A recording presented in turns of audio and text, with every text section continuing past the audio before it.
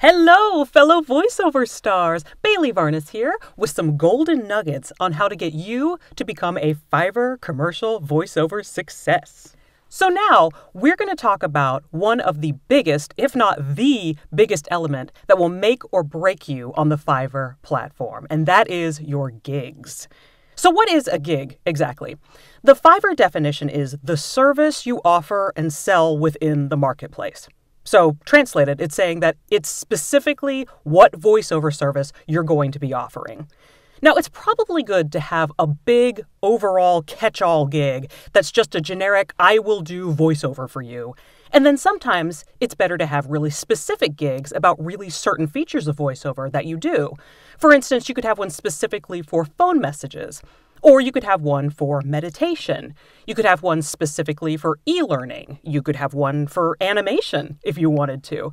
But basically, it's probably best to have one just short, basic, generic, everything voiceover gig, and then you can have specific targeted gigs as well.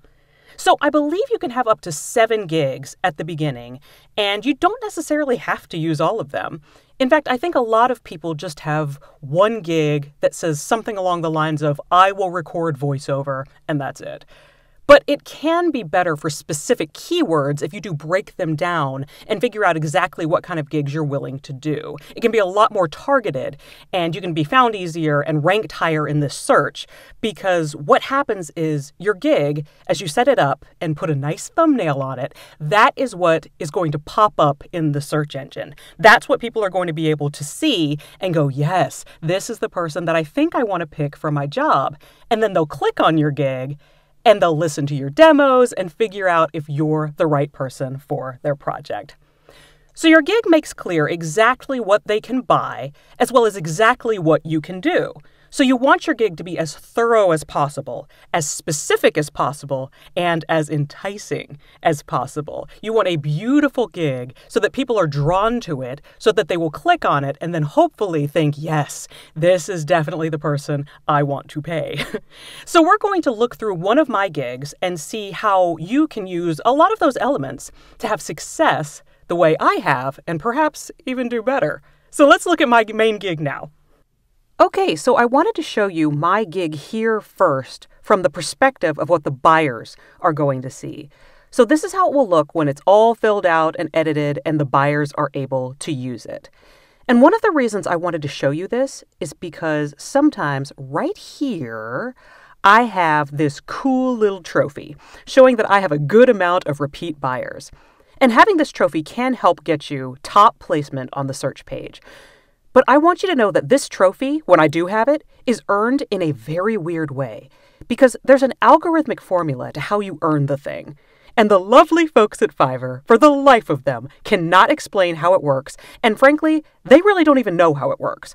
Now, essentially, it's based on what's known as your repeat business score, which is the percentage of repeat buyers that you have compared to the percentage of repeat buyers that other people in the voiceover subcategory have.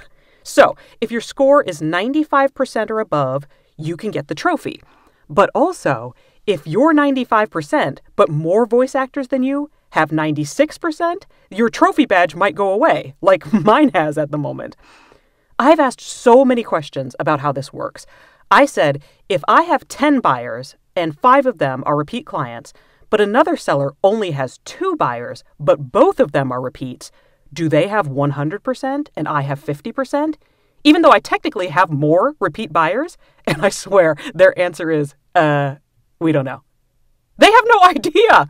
Their algorithm is measuring things and they can't even explain it.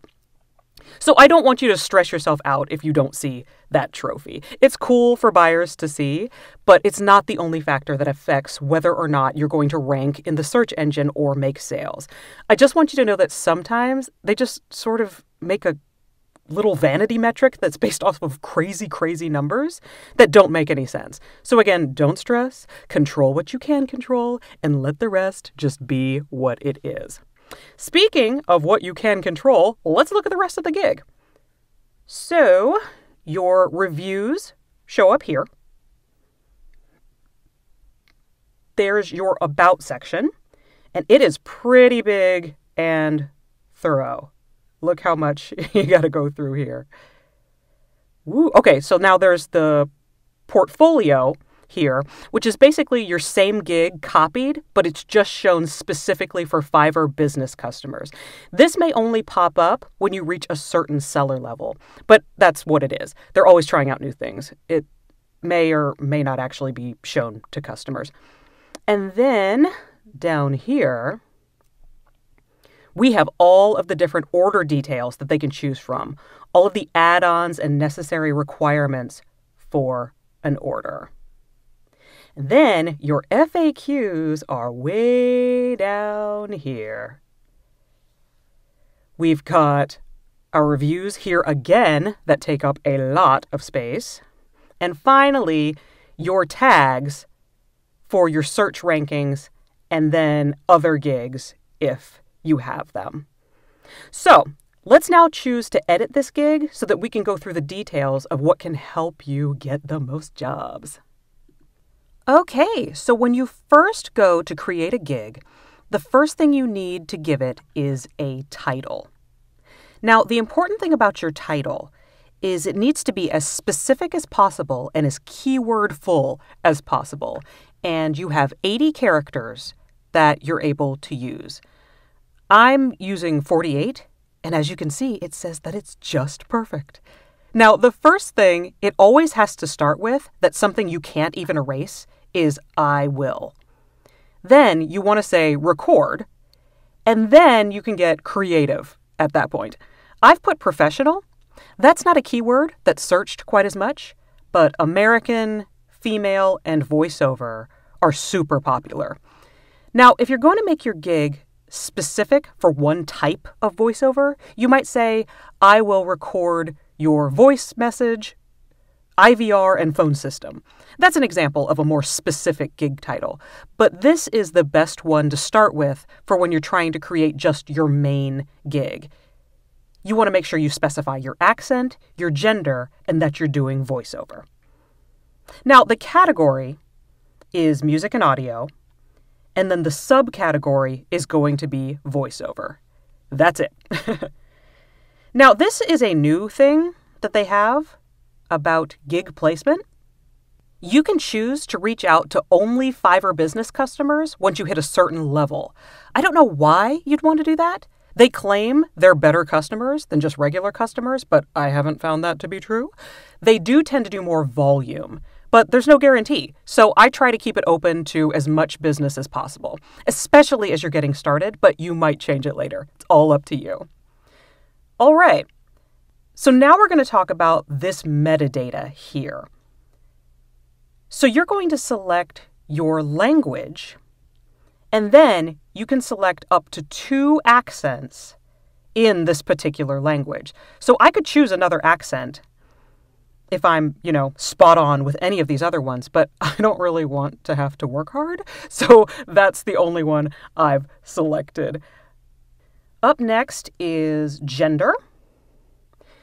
Unfortunately, at this point, they don't have an option for non binary. That might be something you'd want to put up in your original title so that that would pop up if somebody does search that keyword.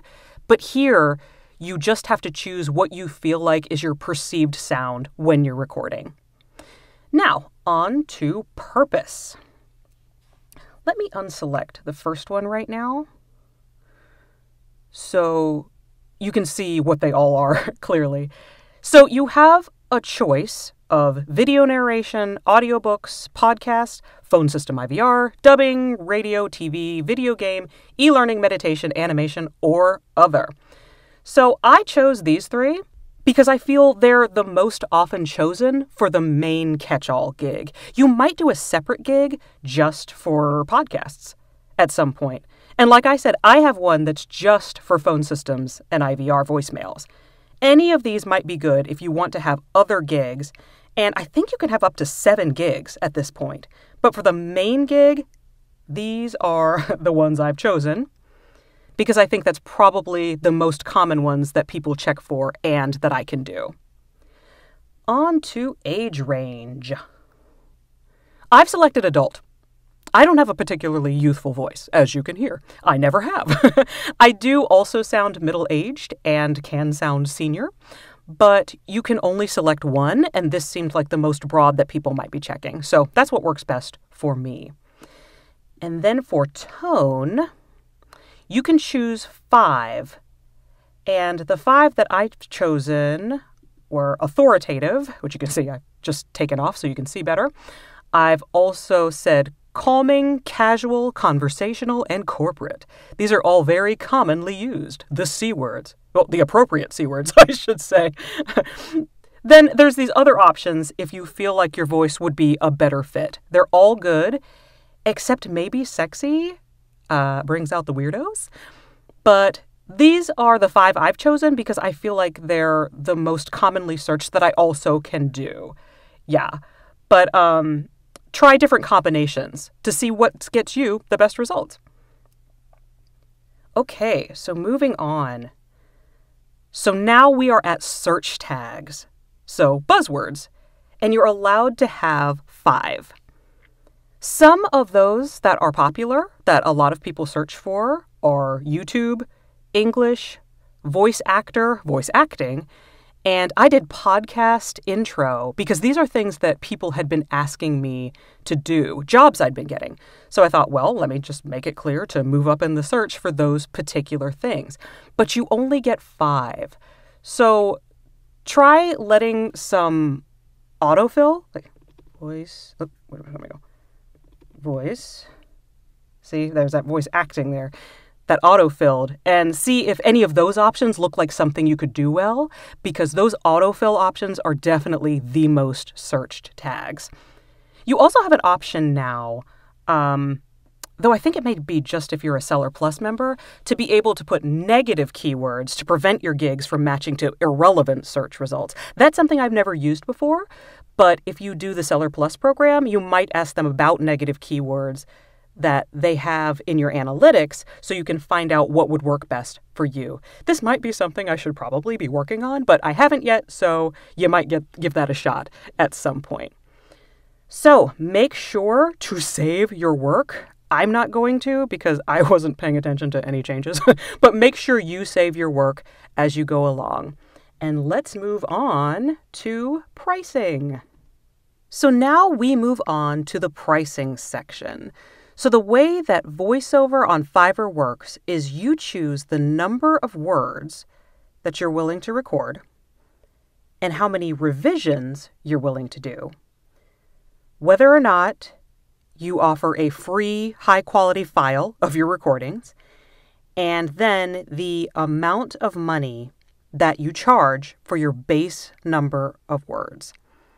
So, the most common basic offer is 100 words for whatever amount you're willing to do. You can do more words or less, but this is the standard word count that most people are used to seeing. So I would recommend that you use 100 words as your basic offer. So I want you to be aware of revisions. A revision is not necessarily a complete re record unless the script just happens to be 100 words or less. Something that short is not that big of a deal to redo.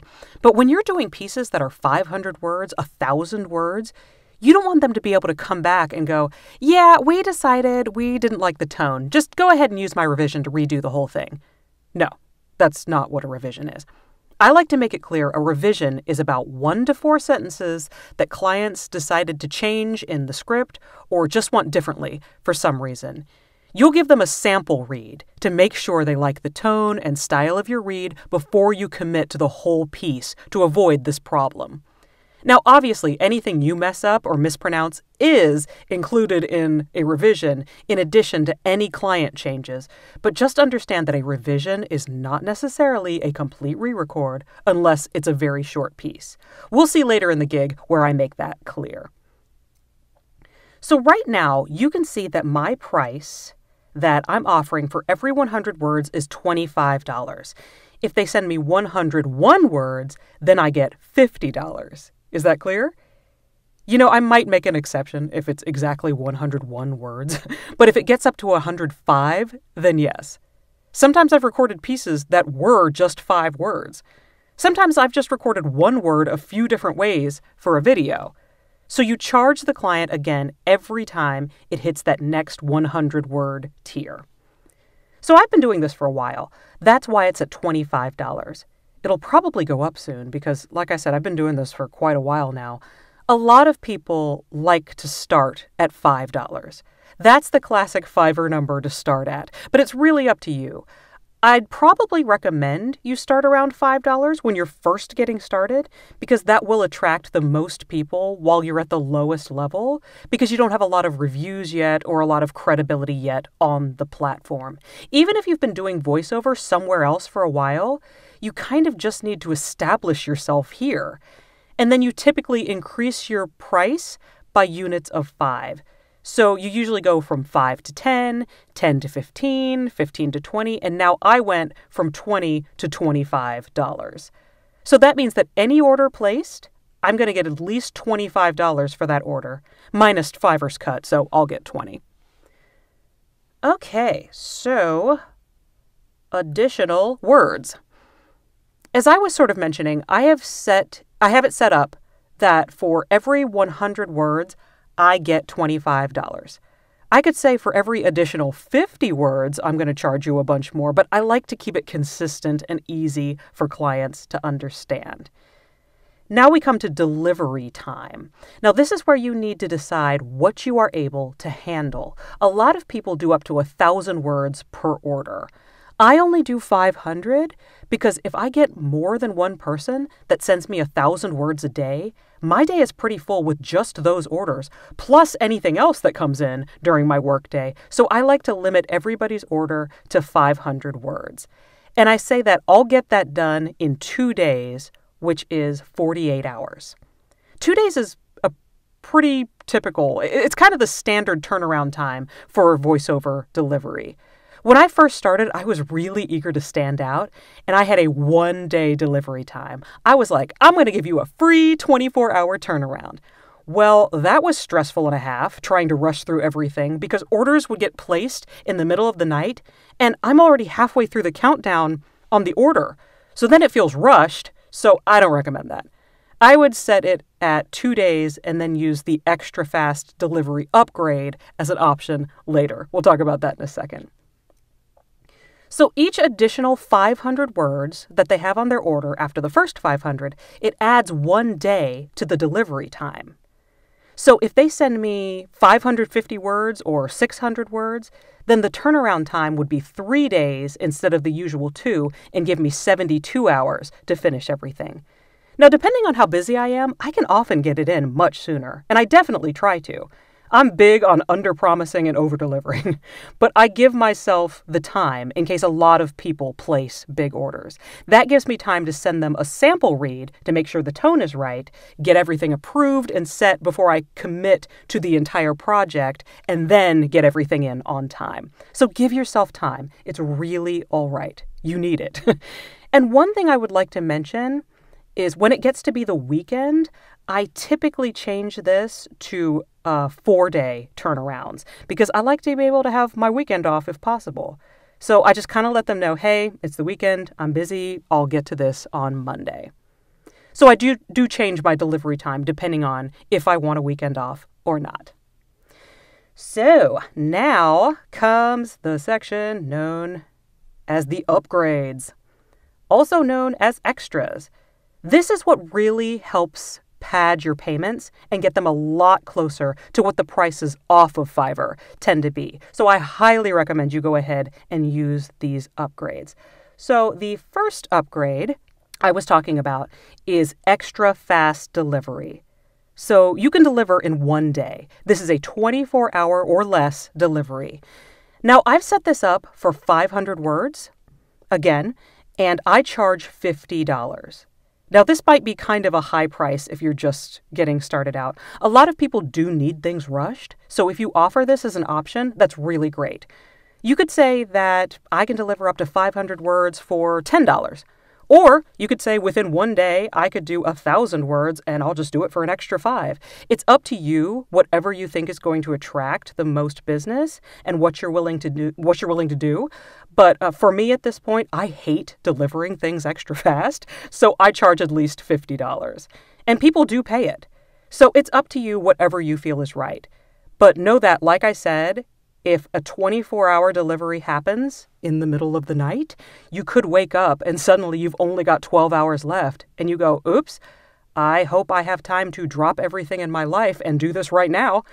so only offer extra fast delivery if you are going to be able to deliver extra fast. Okay, so, the next upgrade you could offer is script proofreading. A lot of times you're going to get scripts from people where English is not their first language, or whatever your primary language is, may not be their first language. And so they ask you, could you please proofread my script for me? So, for every 100 words in the script, I charge an extra $10 to tweak and correct it. Now, this is not me writing a script. I will not write people's scripts for them. And I made that clear up front like, look, you got to give me a script. I don't mind making sure the English sounds correct, but I'm not writing it for you. That would be a completely different Fiverr gig. So just know that proofreading is an option you could offer if you see that there's kind of a mess going on.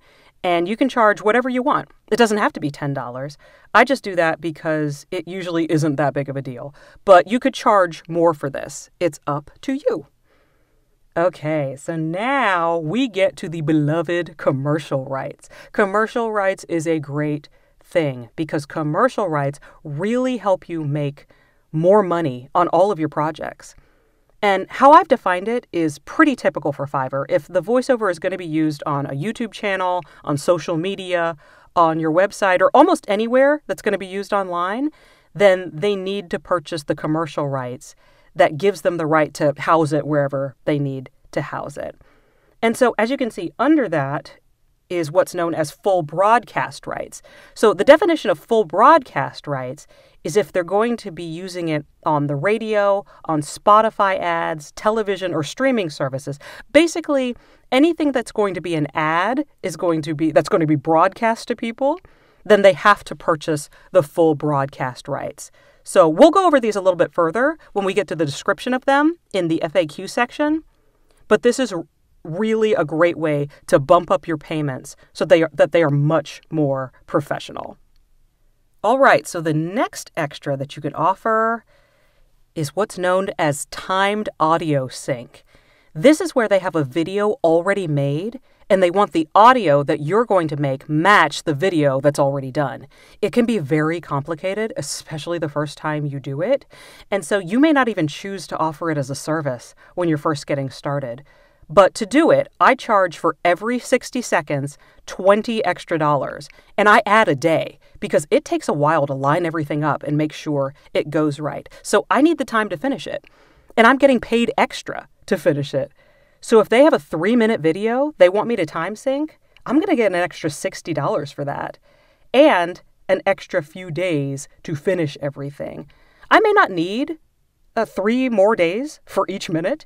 It may not take that long, but I do at least give myself one extra day because it is a process and a half to time sync audio. It is much more difficult than just recording, and you deserve the time and the money for the effort.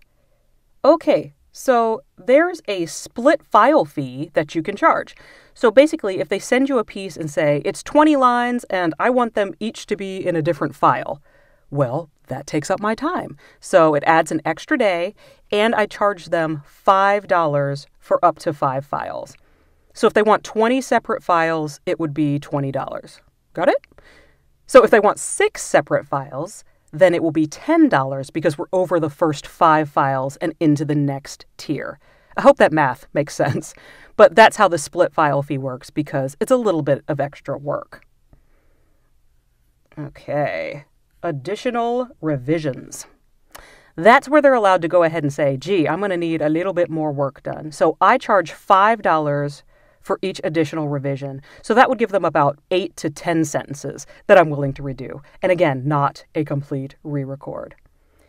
Then we have background music. If you are willing and you should be able to now because we went over that. If you want to add background music for a track, I require an extra day because, first of all, I want them to be able to have the time to choose which piece of music they want. And then I need time to edit it in and mix it all together. So I charge an extra $10 for every track that I'm going to add background music to. Now, the last upgrade that I have here, this is one that I added as a gig extra. Uh, this particular one, I have it for if they're going to do national broadcast usage. For national radio or television instead of local, I would charge an extra $500. And there's no additional days needed for that. I think I've maybe had someone use the extra only once because most of the people who are doing national broadcasts are using large agencies and not Fiverr. But I have it on there because it makes it look professional and it's something I have done. It's like, hey, if you want something big, these are the big bucks. I'm legit. So it's a special option that I have. And you can add any other extra here that you want to, that you would be willing to do. Uh, something like a live directed session through Zoom or Skype or the phone or something like that. If you're willing to let clients direct you, you can charge by the hour. You could say that would be an additional $50 for an hour of your time or $100. That's something a lot of people are interested in doing in now. I think they even have a Zoom button as part of the orders now, so you could do it through there.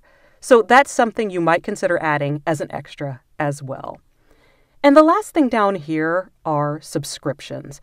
I don't recommend you do subscriptions. They are very complicated, and you only get like one subscription order per month that even counts, and then everything else is going to be regularly priced. So it's not good if you're doing a voiceover and they like to send you a bunch of orders consistently, because sometimes they don't realize the discount is only on one order per month, and it just gets messy. So I wouldn't recommend, I would recommend that you just skip subscriptions altogether it's not good for our particular offers. So that's the pricing page. So now we're going to move on to our descriptions and FAQs. All right, so this part here is very important because this is the most obvious place to make it clear to people what they really need to pay for. So we're going to go through exactly how I have described my gig. So now you have got, let's go here, up to 1,200 characters that you're allowed to use. I've used pretty close to that. So feel free to definitely take advantage because you've got a lot of space and people do tend to check this area out. So, how I've started is just by introducing myself. You know, hey everyone, I'm Bailey. I said that I'm a professional voice actor with a professional home studio because I have both of those things. Or rather, I am that and I have that. If you don't, you might leave that part out. Then I say, I've been in the voiceover business for over 15 years, working in all facets of the industry. If you don't have this vanity metric yet, you might go ahead and just start with something like, I'm ready to work, or I can work in all facets of the industry. Then I've included some brands I've worked for Tylenol, Fanta, IBM Watson, NPR, Nabisco, Moderna, and hundreds more, because again, that's true for me. I can actually say thousands more now, so I might go ahead and change that. But this next part, you might want to go ahead and steal from me. You can say things like, I can record commercials, training narrations, explainer videos, on hold prompts, radio imaging promos, podcast intros, outros, trailers, YouTube narration, and so much more.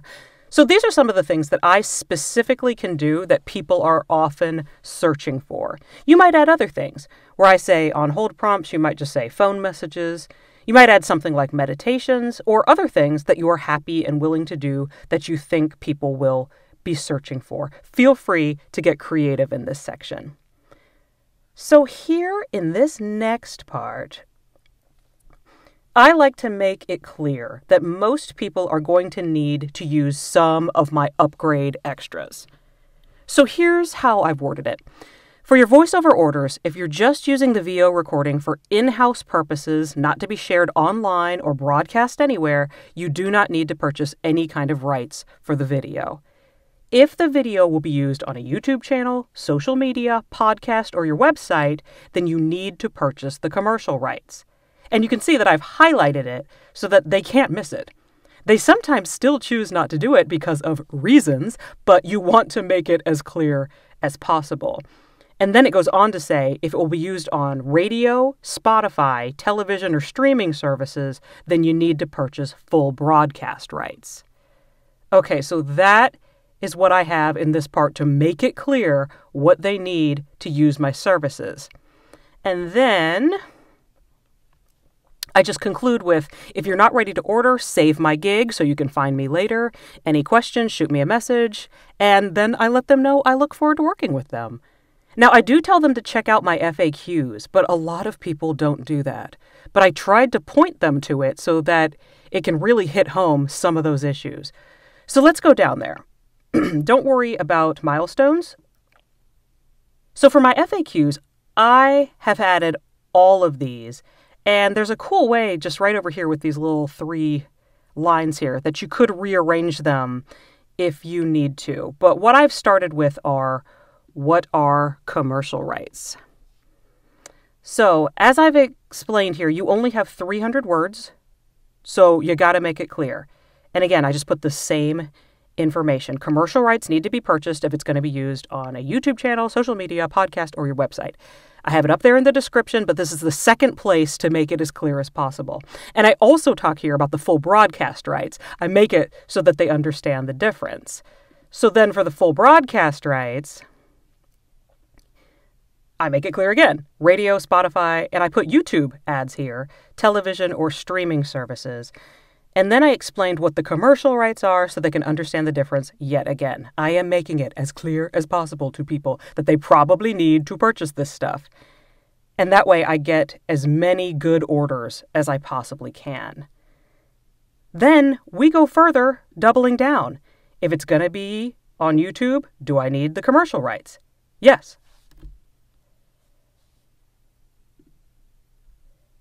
If it's going to be on social media, yes. How about on my website? Yes. Very, very clear, right? Try to make it as clear as possible. Do I need it for my podcast? Yes, you do. Now, this one I think is very important. What is a revision? A lot of people don't understand this and don't even take the time to look, but I didn't have the space to put it up in the description, but I do have it here so that if they do come back and complain, I'll be like, well, it was spelled out in the FAQs. So this is how I word what a revision is. A revision would include any minor, excuse me, any minor changes to a script, typically 1 to 4 sentences that need to be updated. A complete re-record is not a revision. So, a lot of people don't understand that. They think a revision just means, oh, she'll just redo the whole thing you know, I do an 800 word script and they go, you know, my client decided they really don't like the tone after all. Let's go ahead and redo the whole thing. And it's like, absolutely not. You now have to pay for the whole order again. You don't have to pay commercial rights again or full broadcast rights again. But if you want me to redo the whole script, then you have to pay for the words. So if it was 800 words, you gotta pay for all 800 words again. If you want me to just change a paragraph or two, if something changed, like I said, about one to four sentences, or if there's eight and it was a really long thing, all right, I'm not going to make a fuss. But you need to make it clear that a revision is not a complete re record. You should be paid for that. Now, when will my order be delivered? That is a good question. That's going to be up to you, whatever you feel like you're able to do. But a way I like to word it is your order will your order will typically be delivered in 24 to 48 hours or less, depending on what you ordered. While I work to get it to you as soon as possible, most orders will take a full 24 hours to deliver. I could have said 48 hours. I could have said 72 hours if I wanted to set it at that point. But right now, the way I have it set, I just let them know it's going to be at least a day before I have anything to you. And I think it's good for you to make that clear. And then the last FAQ I have is about proofreading. And how I've worded it is because many scripts are written by people whose first language is not American English, they can read awkwardly and not translate well to an American audience. I will proofread the script and correct grammar and syntax to ensure that it sounds natural. So that is the last thing that I want to make clear to people because sometimes people think that proofreading means that I will write their script for them. You know, a lot of people, when I ask how many words are in their script, they're like, well, I don't have that. Can you help me with that? No, I can't. I do not have time to be writing copy for you. Hire a copywriter if that's what you need. I am a voice actor, and that is not part of what I do. So, that is pretty much the important stuff that you need to know for your description and your FAQ page.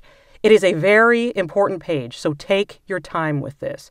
You do want to get it right so that it's clear and people aren't angry when they order from you later and feel misled. So make sure all of those things are spelled out and more if needed. So now we are going to move on to requirements.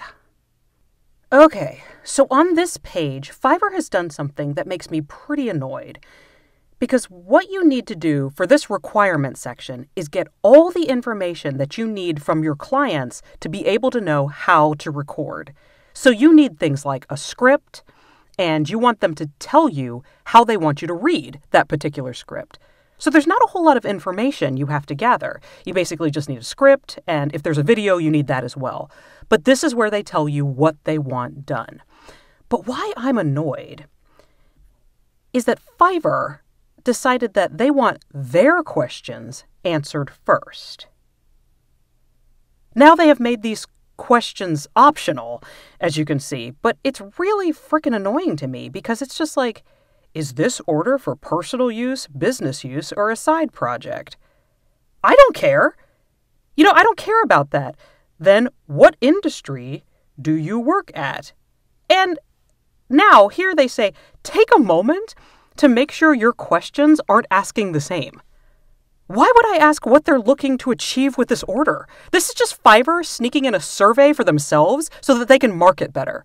I mean, it's so obvious to me. And then we get to my question,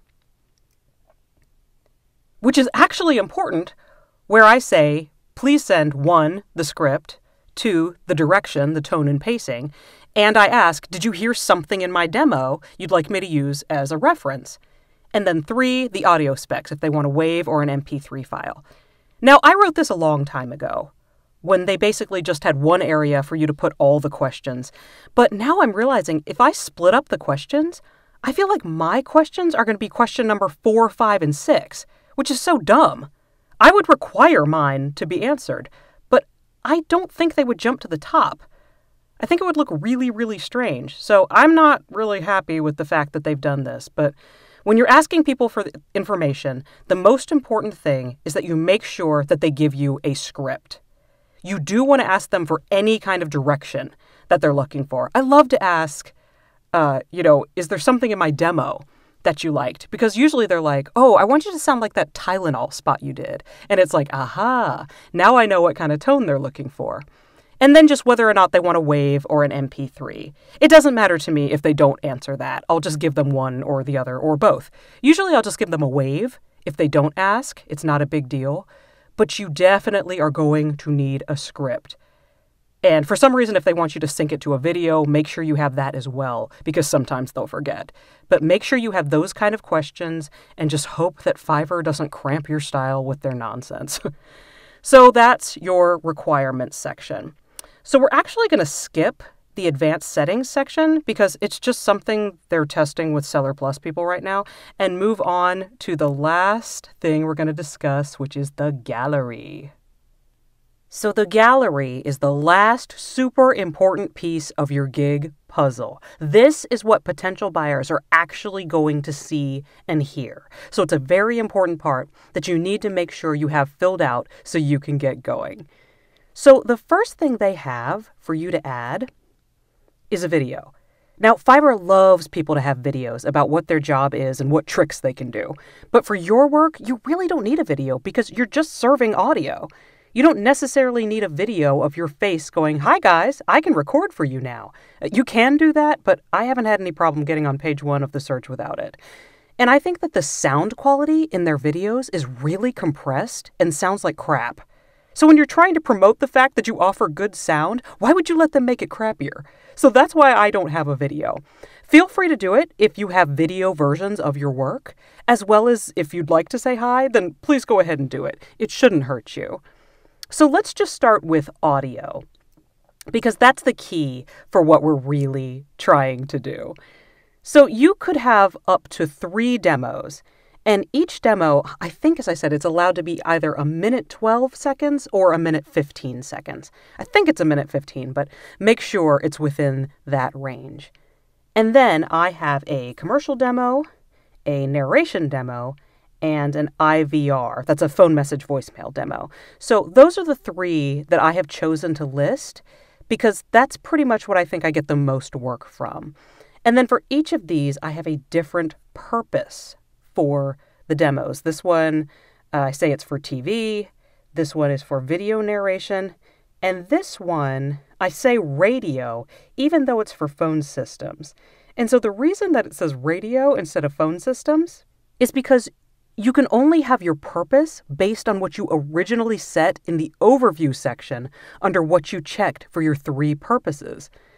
Now, the three I chose were video narration, radio, and TV. So now that I'm in the gallery section, as you can see, those are the only options that pop up for me. So I just say that my phone demo is radio and it's okay, because then in the custom tag area, I can make the tag say anything I want. I chose these because I feel like they pop up in a lot of searches. So you just got to play around with this a little bit based on what you want to do. You can have any kind of custom tag you want. But look, if it auto generates, there it is. See that voicemail? you know it's a really commonly searched tag. That's a good sign because it means that a lot of people are searching for that particular thing. If it doesn't auto generate, that doesn't necessarily mean that it isn't searched. It's just that it probably is not quite as popular as others. But don't use a tag, even though it's popular, if it's not something you're good at or you don't want to do. So, get your demos together and completely filled out. If you only have one at the beginning, that's fine. But take advantage of all three when you can, because obviously it'll give you a lot more hits during search engine time. Now, your images are what's actually going to show over top of the audios. So that while the audio is playing, they're looking at uh, these uh, a nice image. Uh, now, you can hire someone on Fiverr, someone to design your thumbnail image for you.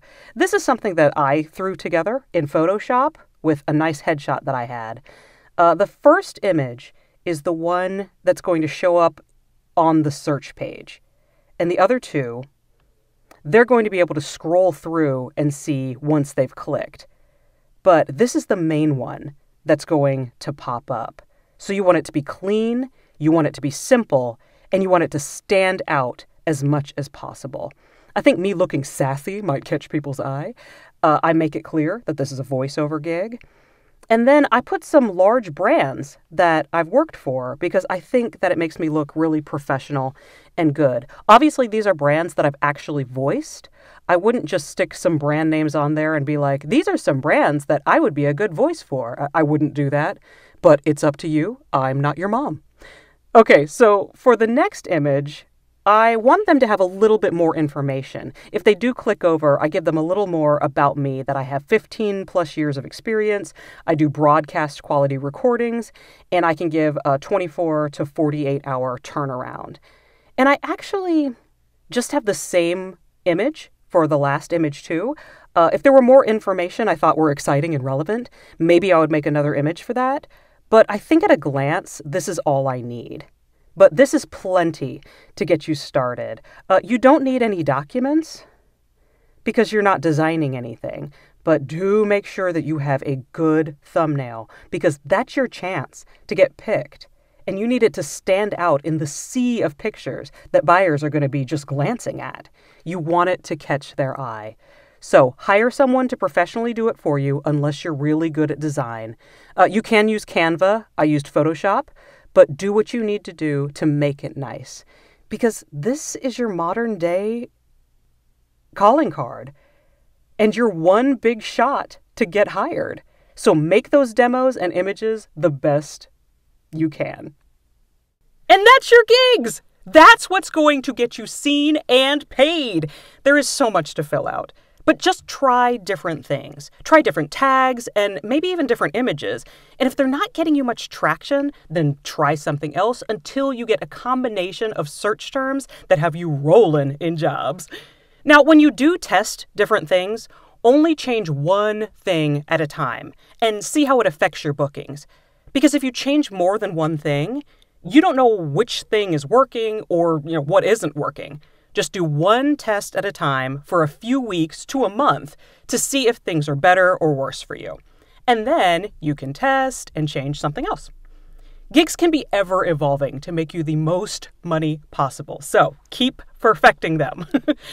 and in the next video, we're going to go over your dashboard, which will help keep you organized and on top of jobs and make sure that you're standing out as one of Fiverr's top sellers so that they reward you with as many jobs as possible.